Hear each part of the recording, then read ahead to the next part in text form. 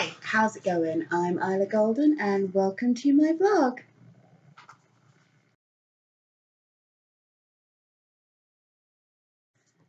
Alright, okay, so uh, a few weeks back I talked about how Zell and Ryan were kind of my first LGBTQ plus characters on sort of a technical uh, level because they are some of the older characters that I that I have that I still sort of uh, do things with. Um, so like they were created first, even though they weren't necessarily initially envisaged as being uh, LGBTQ plus. Um, you know, it was one of those things that when I actually kind of went back and started the editing process, I kind of realised that that they were just based on the subtext that I hadn't realised was there. Um, so those might have been they might have been my like technically my first ones um, but my my actual first ones uh, started appearing in in my fanfics um, so I wanted sort of like when I was sort of like thinking about doing this um, as well, I'm talking about my my actual first LGBTQ plus characters. I was like, oh yeah, it's a Tales, it's a Tales saga, and um, the first time I sort of had LGBTQ plus characters, they weren't technically my own, but within the same series, I did have my some of my OCs who were also LGBTQ plus. Um, and then just before um, just before I sat down to do this, I sort of I was sort of I went shopping. I was like, okay, I'm gonna get back from shopping, and then I'm gonna film this one. And this is like the topic that I decided that I was going to, to do today. Um, and then I remembered my my South Park fanfics. so uh, technically, yes, I did start writing the um, Tale Saga uh, first. Um, I think I just said it was the YF, but I, I mean the Tale Saga. Um, I'm thinking about the YF because of, of, something else I'm doing at the moment, but no, the, the Tale Saga. Um, I, I definitely started the first book in that before I wrote my my South Park fanfics. Um, but the one there are there there wasn't any kind of LGBTQ plus stuff going on in that first um, the first book of the Tale Saga. So technically speaking, when I say the the South Park one came first, I'm I'm not wrong, and it was an OC um, within that as well. Um, so yeah, that and, and it's it's weird because I don't really talk about my South Park fanfics in in any of my vlogs even though my South Park fanfics were the first things that I ever put out in front of a wider audience, um, as it were, and, and, they did actually do quite well. Um, I mean, I, I, I don't tend to think about them. I haven't thought about them in a long time. They're not necessarily anywhere near my current writing standard. and uh, stuff that has happened in more recent series uh, of South Park has kind of meant that I'm so off base with. Like, you know, like at the point in time that I wrote those, um, certain things hadn't been revealed in the show, so they kind of could have worked with the canon um, without breaking the canon. Uh, it's not like with the Tale Saga, which completely breaks the canon and ignores everything that happens after a certain point. knows everything that happens after Battle City. um, and I know it. I know it's like a complete rewrite of the rest of um, the Yu series. But with the, with the South Park one, at the point in time that I was writing it, it um, it definitely definitely didn't clash with the, the canon of South Park, but more recent series have kind of meant that it now does. Um, but having said that, I wasn't. I mean, I was a fairly active member of South Park Studio whilst I was sort of posting the fic, um, and for a good few years. Um, and then they sort of changed some of their um, uh, whatever, and um, my account no longer sort of was able to access all the things that it, it used to be able to access. Um, so I kind of, I mean, I, I was sort of drifting more onto the Yu-Gi-Oh forum at that point anyway, um, and, and you know that's where I was spending all my time. So it's kind of like a cross between uh, lots of different things. I sort of stopped doing the the, the Park Studio forum, as it were. Um, one of the reasons why I haven't really thought about the the characters that I'd, I'd created for that fic uh, in, in a long time. So although I want to sort of acknowledge that my first crack at actually writing for LGBTQ plus characters was in a South Park fanfic, because of course, um, I do actually want to focus more on um, the stuff that I did with the Tale Saga because that's where I really feel like I started to, to sort of really experiment and really um, think about what it was that I was doing um, with with the characters, whether they were my own characters or um, the actual characters from the show. Um, so my first my first pairing was a shipping of characters from the show. Um, but I want to, I want to kind of, because I know, I know there's that sort of that fan thing that um, that, that fans ship characters and they write fics to just ship characters, and I was to ship Joey and Mai. um, kind of. Um, but you know the the the Tale Saga as a whole isn't really a, a ship fic, um, and the the two characters that I didn't end up um, shipping, and I'm not going to spoil it because it's kind of like a major sort of plot point that kind of goes through. Um, it's certainly in the, the reworking that I've done, and I believe there's still a link in the description for the Tale Saga. So if you want to check it out, please do. I mean, there are lots of like little errors and stuff that go through it, but um, for the most part, it is uh, it is pretty pretty good standard, um, I think. anyway, um, yeah, so um,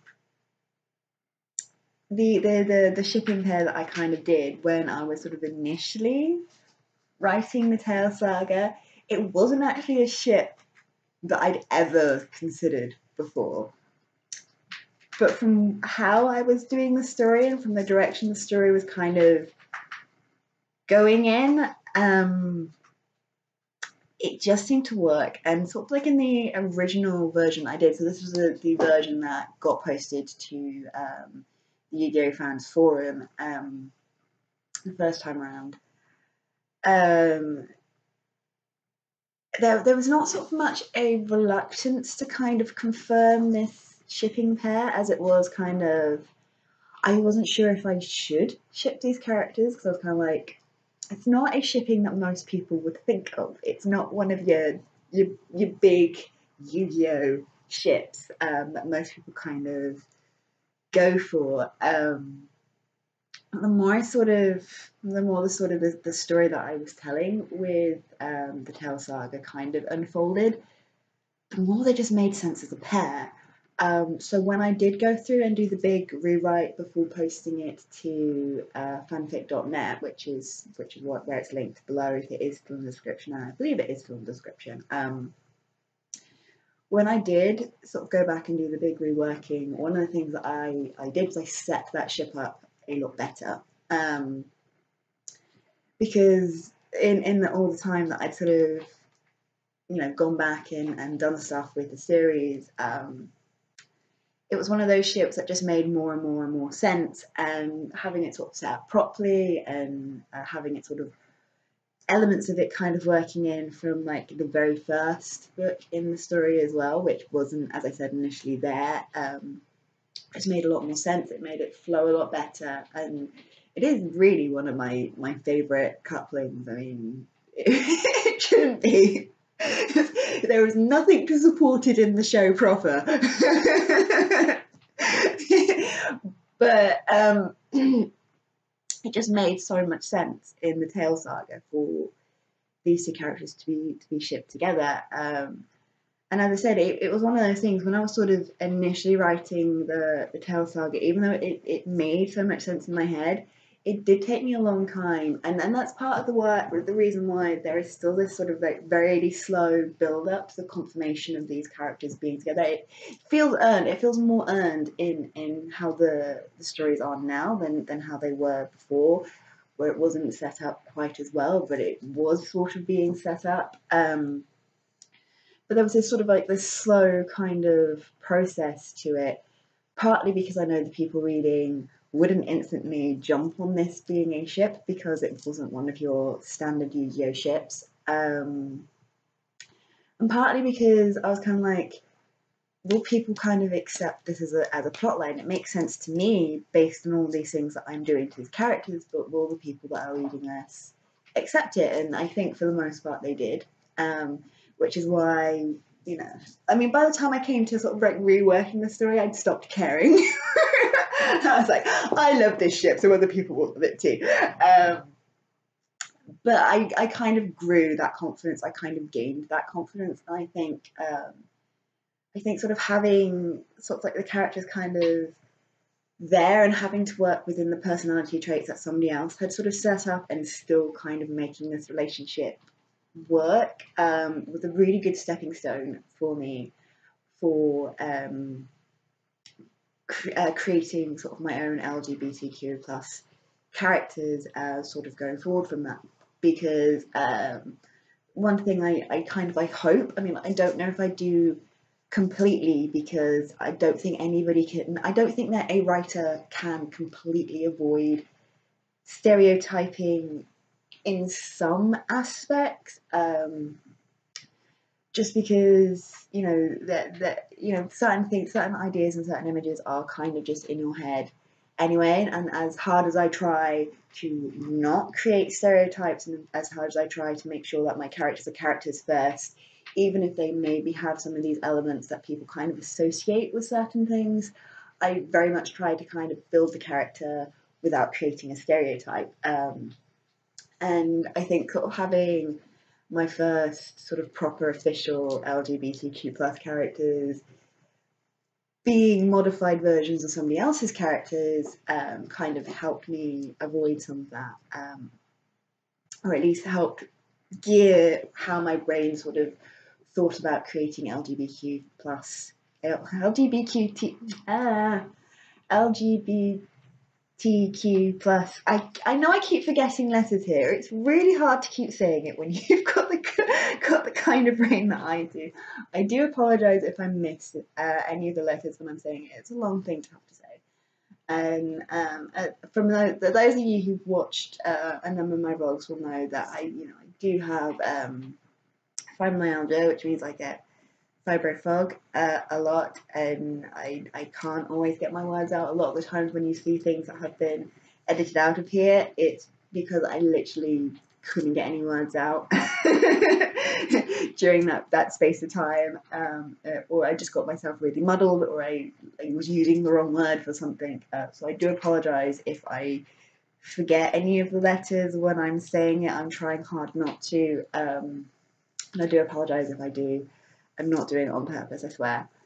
Um, but where was I? I've tangented myself to a point where I don't remember where what I was talking about. Um, so, well, whatever I was talking about, I will have to start it again. Um, so yeah, I, I try really hard when I'm creating LGBTQ plus characters to make sure that I'm creating a character first, and then whatever their sexuality is, whatever their gender identity is, um, it's not secondary to the character. It's just a part of the character. It's an aspect of the character. It's not the character in its entirety. It's not just this thing that's been tagged onto the character. Um, it's a part of who they are, but it's not the sum total of who they are. That's what I try to do when I'm creating LGBTQ plus characters. I, I try very much to sort of steer away from anything that I think, oh, people are going to see that as being a stereotype and not as being a character, because I want my characters to, to feel like they could be actual people. So that's why I try really hard to sort of make sure I'm creating like really rounded characters and as weird as it sort of seems, sort of um, modifying somebody else's characters first as being a good stepping stone into kind of learning how to do that. I, I think that it is a good stepping stone into learning how to do that. If you can, I mean, it's all to do with sort of reading the text and reading like, like the subtext and seeing things there that maybe aren't necessarily 100% intended. And, you know, it's one of those things I do encourage people to do when they're reading my work to see if there's maybe other interpretations there, if there are things going on that are more relevant to you that maybe I haven't necessarily thought about in so many words. Um,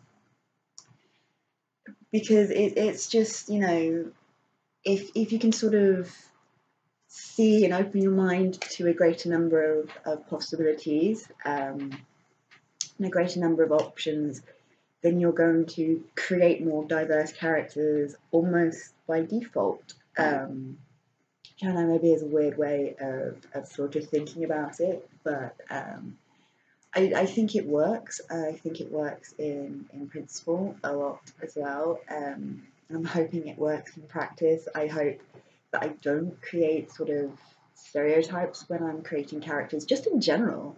Like, regardless of anything else, I, I'm trying to make sure that I'm not creating stereotype characters, just in general. Um, yeah. okay, I, I apologise for my massive loss of chain of thoughts um, during this one. Uh, I'm not sure how much of that will remain in and how much of that I'll have to edit out just because it caused me to lose my place a little bit. Um, I'm hoping you guys, because I mean, I, one, one of the things I sort of thought after I'd uh, filmed the last one was I'd put this emphasis on um, Orion and Zell being my first LGBTQ plus characters, um, without kind of stating that they weren't my only ones. Um, they they're technically my first ones because they were technically the characters I created first, but they weren't the first actual ones that I actually wrote and actually put out there. Um, so I'm hoping this will sort of clarify that a little bit, if nothing else. All right, okay, so um, I hope you found this rather muddled vlog interesting. I hope I will make more sense with the next one than I do, um, and I hope to see you guys next time. See ya! if you've enjoyed this video, feel free to check out some of my others, and if you like what you see, please like and subscribe. See ya!